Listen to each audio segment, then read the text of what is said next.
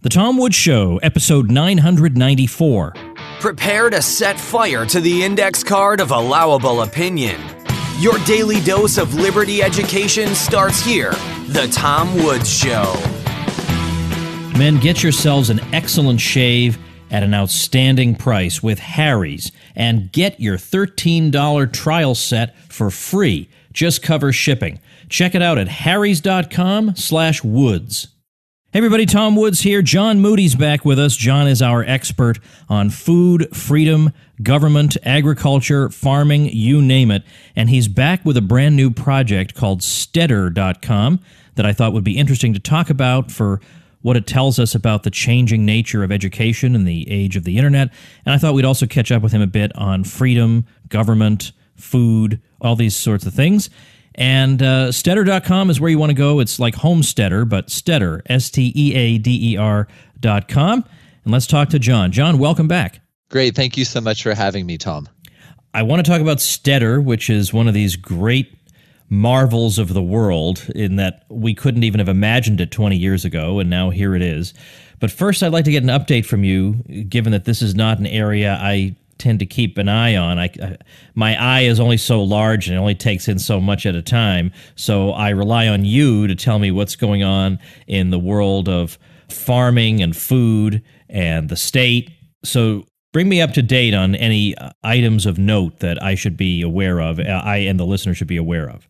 Oh, wow. So, anything of note, it's been a real interesting few years in terms of food and farming um, the the growth of meal services, Amazon acquiring Whole Foods, um, just the kind of the rapid changes to to the kind of food distribution marketing machine um, has been something to watch uh, and and to see you know just how competitive food is becoming and the amount of money being thrown into the food industry. I was reading an article a couple weeks ago and venture capital companies are throwing something like half a billion dollars a year into meal startup ventures.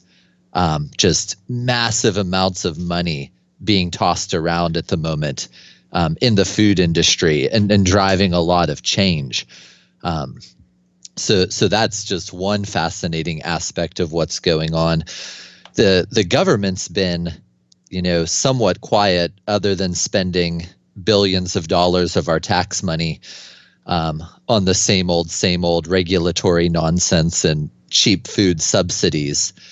Um, so we'll kind of see if anything anything news coming down that pipe. But it's been a relatively quiet year overall. In in good news at the state level, um, there's a number of states that continue to make really good progress pushing for um, immense rollbacks in the in the regulatory state at, at, the state level in terms of food and farming. Um, so I think we talked about previously that Wyoming was the first state to adopt a um, kind of food freedom legislation. And in really great news out of Wyoming, because you know all the naysayers and the nanny staters they say you know like oh you let these people make food and sell food freely. There's going to be all these illnesses and all these people are going to die and it's going to be so bad. And wyoming it appears has actually had decreases in their annual number of foodborne illnesses and other stuff. Um, and at the very least there's been no increase um, even though they passed this doomsday legislation to you know let you make a pie for your next door neighbor without Uncle Sam having to take a slice. Um, so so that's really good news because other states are watching, and states that have good early results, it makes it easier legislatively to get other states to buy in. Let's talk about Steader, which is the reason I wanted to talk to you today. Uh, this it's Steader as in homesteader, just without the home. So steader.com, is that the site? Yep, exactly. All right. So we're we're thankful to find that domain. That's um, amazing. Yeah, because these days to find a good .com is like a needle in a haystack and you really it's not like you can't function with a .us or a .net, but there's something slightly shady about you when you have that. So it's really great if you can find what you're looking for. And f- for my sake, by the way, in my case, I just can't believe I found things like supportinglisteners.com, which is just my donation site.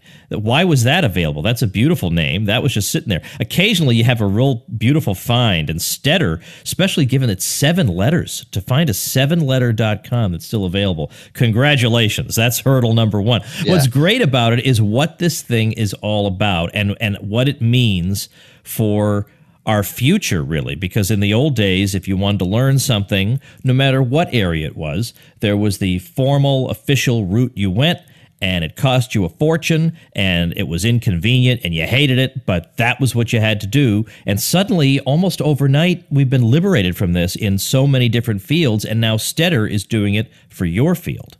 Yeah, and and we're really excited because for people who want to learn skills in homesteading or farming, the options can be challenging in the sense of you can go to conferences you know you can go to formal educational institutions who often what they're going to teach you is highly problematic especially if you're more organically or naturally minded. Um, or you know, so you can travel around the country to catch conferences or you can travel to people's farms and stuff. And you know the on farm training is often really great. Joel salatin does a tremendous job with his on farm training. But if you live in the middle of the nation or on the West Coast, going all the way to the East Coast is both time and financially costly. And if you want to learn a number of different skill sets, trying to make it to different farms and different regions of the country is going to cost you an arm and a leg in so many different ways. And we were watching things like Masterclass and Treehouse and began to think could we do something like this for homesteaders and farmers? Could we offer them really, really high quality content at a very reasonable price that would they would just look at it and say, oh, this just makes such good sense? So give me an example of the kind of thing that I might learn there. Well, we're hoping over time that it will cover just about every possible topic you would ever want to know. So whether you want to learn about growing stuff in raised beds or you want to learn particular crops like garlic or sweet potatoes or tomatoes or if you want to learn how to keep bees both in traditional hives or in kind of newer iterations of beekeeping um, like top bar hives and other things um, we hope to have classes on foraging especially classes that deal with different regions of the country so that no matter where you are, you can learn about foraging for food and hunting for food. Um, we hope to have entire tracks of classes covering all sorts of homestead skills, such as you know heating your house with wood or overall um, homestead design. You know, if you're just buying a piece of land or looking at buying a homestead, how do you design it to maximize its fruitfulness and its efficiency and its value um, while also minimizing your labor and work and costs in the process.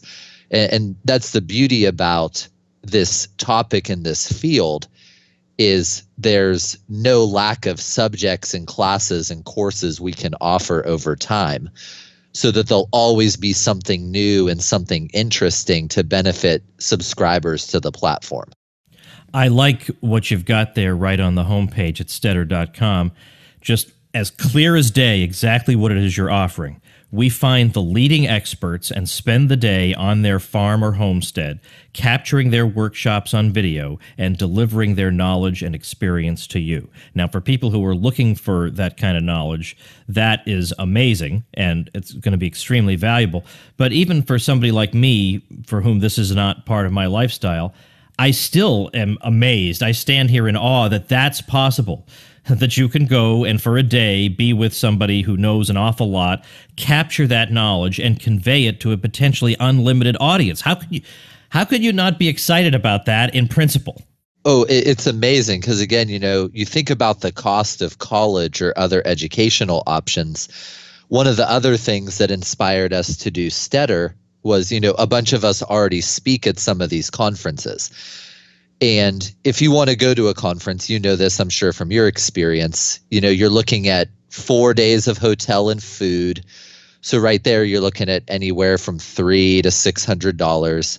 You have your travel expenses that can be another two hundred to six hundred dollars, and then you have the cost of the conference itself, which can be anywhere from you know 50 bucks to 500 dollars or more. So just to attend a conference you're looking at a four figure outlay um, and losing four days of time as well. And a lot of these conferences what you're going to get is a bunch of sometimes mediocre sometimes fairly good static powerpoint presentations for you know a thousand fifteen hundred two thousand dollars Whereas, you know, with something like Steader, we can give you multiple hours of beautiful cinematography from a really gifted, vetted instructor in a particular area for basically the cost of a couple cups of coffee for the entire month. You know, for something that's competitive with Netflix, um, you know, one tenth of the cost of going to a conference, you can have an entire year of dozens and dozens of classes to choose from is our goal. And I'm looking again on the homepage, and you're discussing the range of topics that people will ultimately be able to get a hold of. And you've got it's it's a diverse array of things. It's backyard beekeeping, raising heritage breeds, heirloom vegetable gardening, a whole lot of stuff. Now that so so Steader.com is the site pe- people should check out. It's uh, again, it's a miracle of the of the times we live in. We we have a lot of reasons to complain and be frustrated, but at the same time, this would not have been believed by anyone uh, 50 years ago. It's not that it would have been amazing to them. It would have been, I must be dreaming. Such a thing can't happen. And yet here it is, and that's just amazing. We, we, do, we do not pause often enough to appreciate what we have. Now, let me uh, switch gears a, a bit for a moment and ask you given that you are involved in this kind of subject matter and you're very interested in food and farming, there are no doubt a lot of people you encounter who have the same interest that you do, but who, let's say, from a policy standpoint, would disagree with you very much, would be inclined to think that what we need is uh, the state as a steward of these things, as an overseer, as a guarantor of quality or whatever. And yet you have a very different view. And how do you how do you deal with that difference with others, and how do you justify your what I'm sure is uh, somewhat of a minority view? Hmm. Well, interestingly, you know, in food and farming, especially because of the influence of someone like Joel Salatin, a more liberty-minded view, I, I don't think is quite as small policy-wise as in some other parts of the economy and nation and stuff because um, you know because Joel has had such a big influence, right? And you know he's a big boat that creates a lot of wake, so he, he's really left a, a, a positive mark on the movement from that perspective, and then you know the government um, through their own actions has certainly been immensely helpful um, to that line of thinking because when you see the malfeasance and the foolishness of the government, when you see that every year, you know, 20 um, some billion dollars of our tax money goes basically to a handful of crops that get turned into ethanol and all sorts of other things and, and you know basically are, are, are, a gigantic bailout to big food and big farm um, and have all these deleterious effects on us in terms of our national health and in terms on the economy and stuff it's it's not a super hard sell an argument for those who are informed and, and you know you also have the issue of you look at the FDA you look at the USDA and who's in charge of these organizations? Well, it's people who used to work for Monsanto, people who used to work for Cargill, people who used to work for Tyson.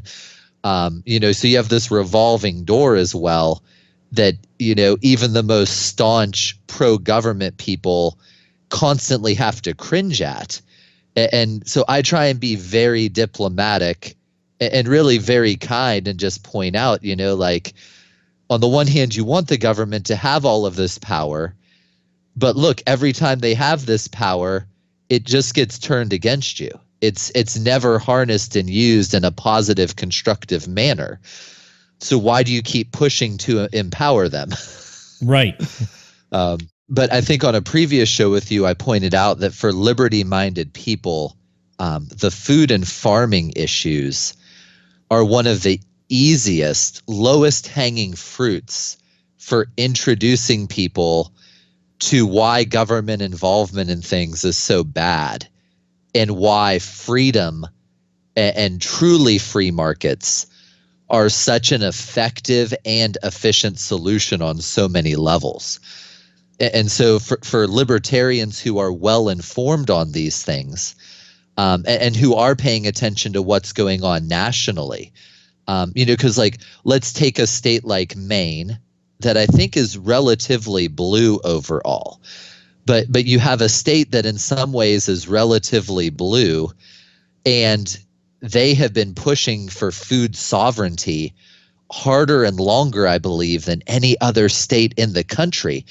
And and that push for food sovereignty, that push to allow people to feed their neighbors, is being driven by people who are very progressive, um, including you know Ron Hickman, who is an openly homosexual African American Democrat, either representative or senator in the state of Maine who's championing this.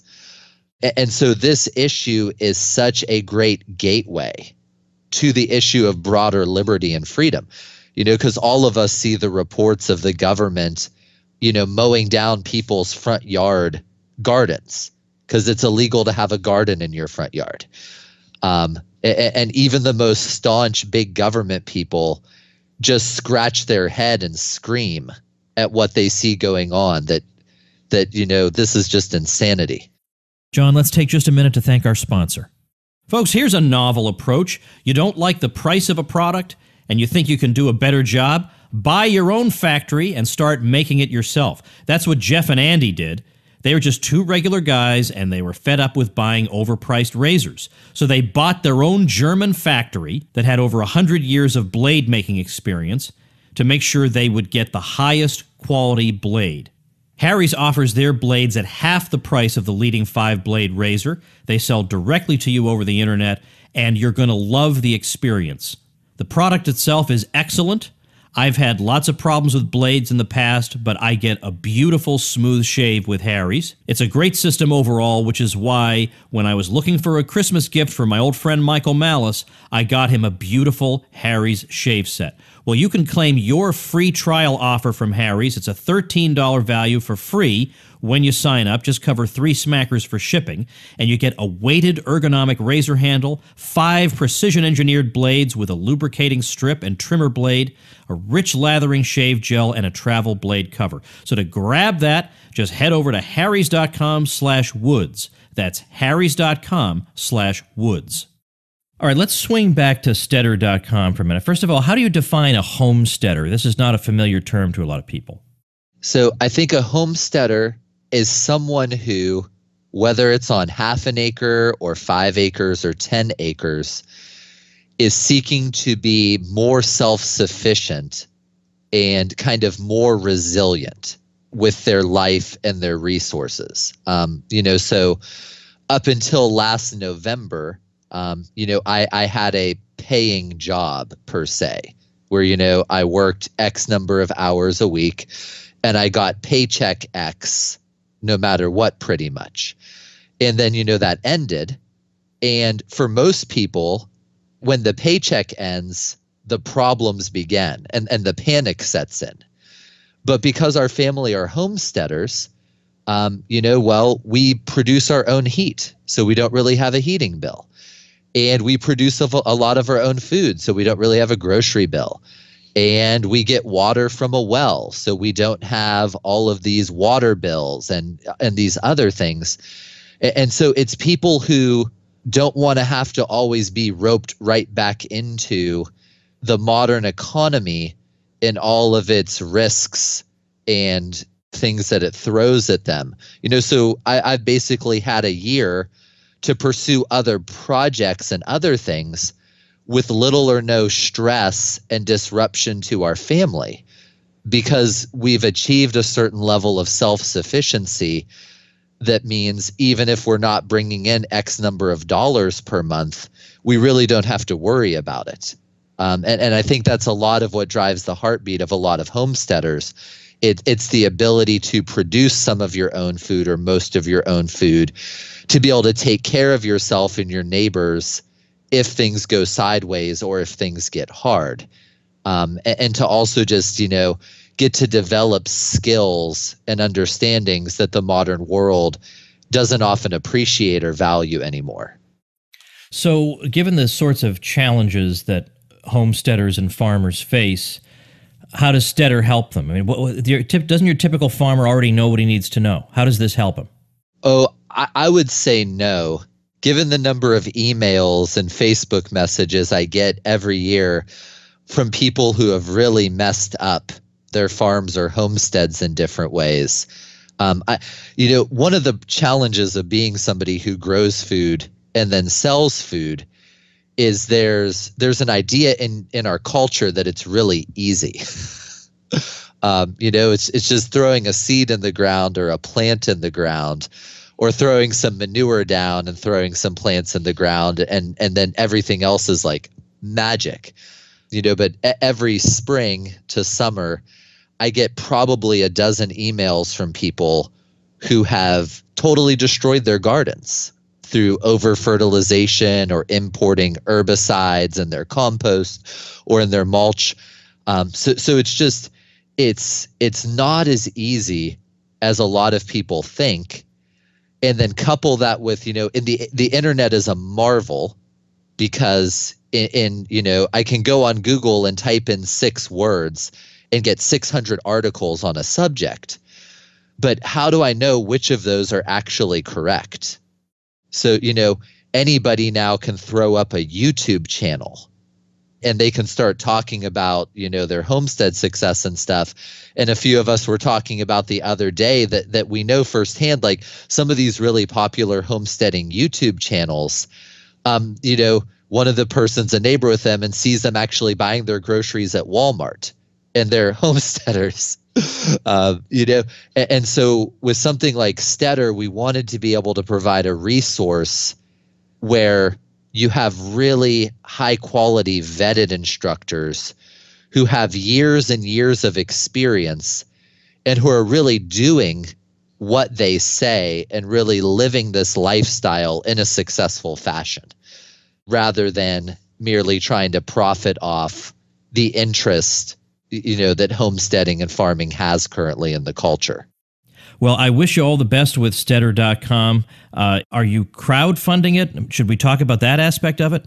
Yeah. So, so what we're going to do is in September we're going to launch a Kickstarter to to supplement some of the private investment we've had in the platform.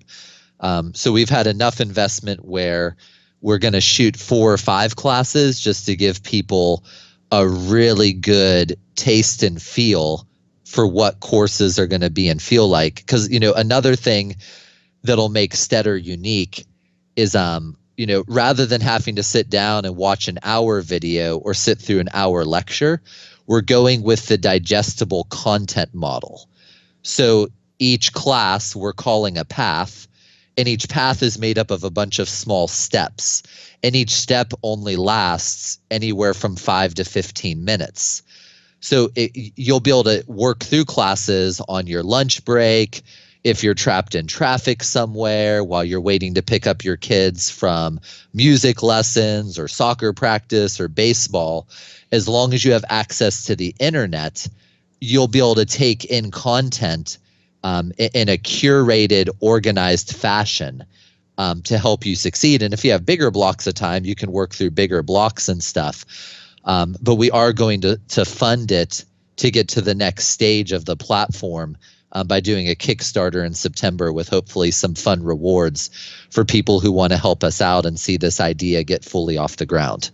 All right. So, do you have any sense of what part of September that'll be happening? We're going to be launching the first week of September with the Kickstarter. Okay. All right. So, in that case, I'm just trying to think of when I want to run this and what episode number this ought to be. Let's see. I don't know. Why am I doing this on the air? but I'll, I'll, figure it out. It's it's uh, well because I need to give people a show notes page. That's why. So we're gonna say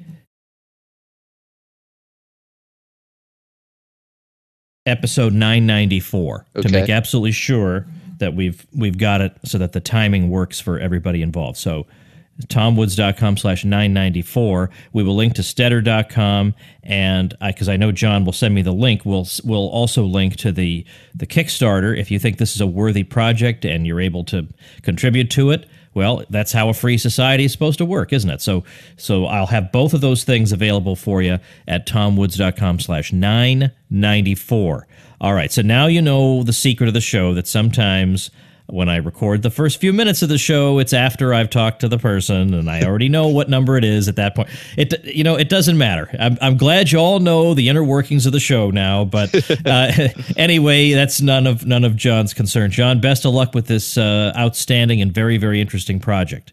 Man, well, thank you so much for having me, and and thank you for all you've done to inspire people um, to consider just like the possibilities that innovations in technology and markets make for ideas like this. Well, I appreciate that. I'm glad to do what I can. That's great. Thank you so much for having me. All right, that's going to do it for today. I know I owe a few of you a mention on the show who started websites through uh, tomwoods.com slash publicity. I will get to that, but right now we're dealing with the hurricane situation and uh, the situation, the uh, circumstances are not really ideal, but I will get to that in the coming week assuming I make it through this ridiculous thing. Thanks for listening, everybody. I, I think actually, you know what? I may even, isn't it funny in, under these circumstances? I may even have, if I can swing this, a bonus episode this weekend with Katie Wells of wellnessmama.com, who interviewed me on her podcast not long ago. I made that into an episode of this show. And when I was looking into her background, I went to her website because I always want to know who's interviewing me. And so I went to her website. It's amazing the empire she's built. She's got a podcast, a blog, products, a members area. She's an affiliate marketer. She's doing all this stuff, and she listens to my show. So I want to know how she's doing that. That's amazing. I, I, mean, I would be impressed if one of my listeners did one of those things. She's got it all working together and an email newsletter. So everything I recommend, she's doing very, very successfully. And I want to know how. I want to know how she got started, how she figured it all out, what has been successful for her, where she's been unsuccessful. as soon as we started talking, I said I've got to interview this person for a bonus episode because that that is impressive. So if all goes well, we'll have a bonus episode on that over the weekend. I did skip an episode this week simply because I didn't know what I was going to do about the event and I was waiting to insert some audio into the episode about what I was going to do about the event and we just it was a long story, all the technical details of it. So I ended up missing an episode, but eh, it's okay. It's no problem. I got a bonus one coming this weekend. You're all good. All right, see you later, everybody. Become a smarter libertarian in just 30 minutes a day. Visit tomwoods.com to subscribe to the show for free, and we'll see you next time.